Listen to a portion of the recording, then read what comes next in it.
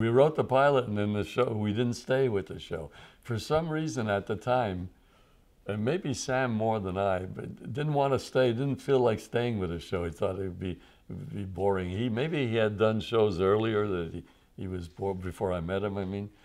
Uh, anyway, uh, we, we wanted, we, first of all, we were offered other things at the time, so we went on and, and left the show. It's too bad because uh, Paul Lynde was a very funny guy, very, very funny guy. In fact, many, many years later, he toured in a play that Sam and I wrote, uh, uh, not Norman, another play, and, and was very successful in it. And he, he was a big star, you know, in, in the country.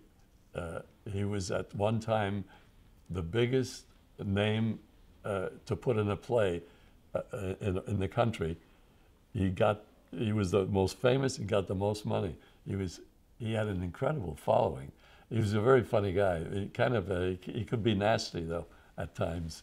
Apparently he drank a little and could turn on people. He, he never did it with us, but he, I, I have heard a lot of stories, but he was funny.